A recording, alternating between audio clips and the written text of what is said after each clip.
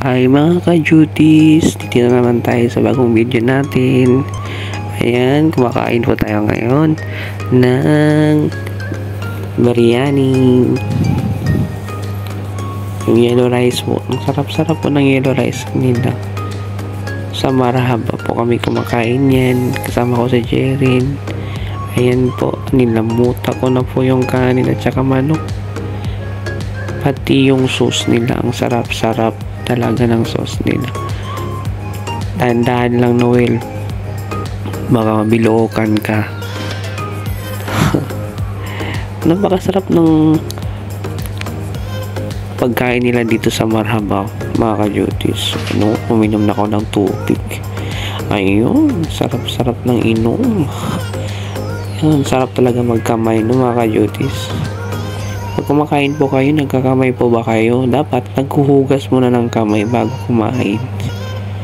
Ayan o, bunga nga ako. Talagang kain ng kain. No? Subo ng subo. Mahilig talaga sa subuan to si Noel. Ayan. Sarap ng price. Lalo na yung nilagay sa ano yung garlic sauce nila na ano yung white color. Sarap. Tapos, ayun. Nakuha na naman ako ng manok, no? Habang habang kwentuhan kami ni Jerry no? Sarap-sarap ng kain ni Noel. Ayan inom na naman ako ng tubig mga kajotis ayan. Gutom na gutom kami niyang dalawa. Walang kain. Buong araw. Ayan. Gutom na gutom si sa duty niya no? Ayan yung manok nilamutak na mga kayutis.